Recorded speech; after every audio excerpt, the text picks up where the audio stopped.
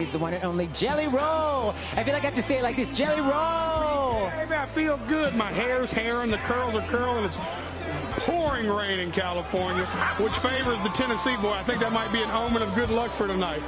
Absolutely. Now, you you were so emotional when you found out you were nominated for Grammys, mul- um, um, multiple.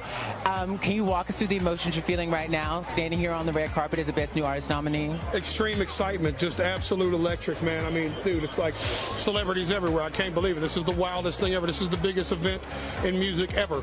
So to be here and a part of the 66 one is more special to me than anything in the world. As a nominee, your story is so incredibly inspiring. From where you started to where you are now, all the struggles, all the just everything. It's amazing and it's so beautiful. What would you say to people out there who may be having a hard time, who may be formerly who may be incarcerated now or formerly incarcerated about changing your life?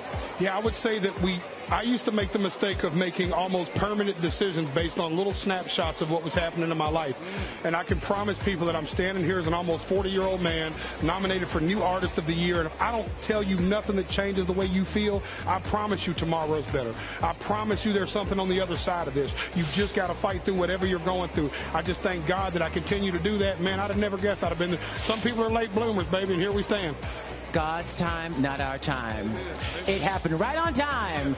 Jelly Roll, congratulations. I'm so happy for you. And you have such a beautiful voice and Save Me. It's such a beautiful song. Beautiful.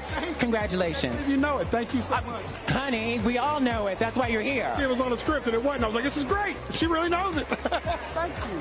Thank you. Stuff today. Thank you. No, I know it and it's beautiful and you're so, you're an amazing artist. You deserve this. Enjoy.